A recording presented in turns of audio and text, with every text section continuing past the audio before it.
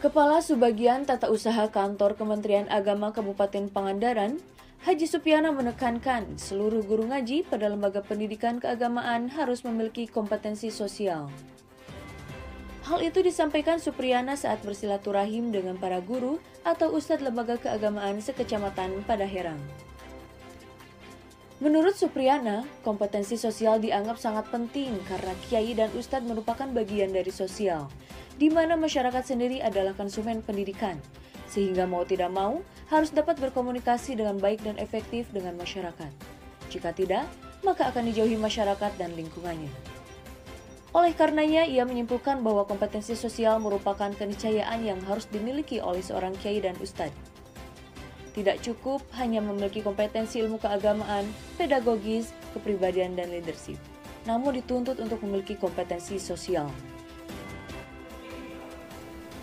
Diakui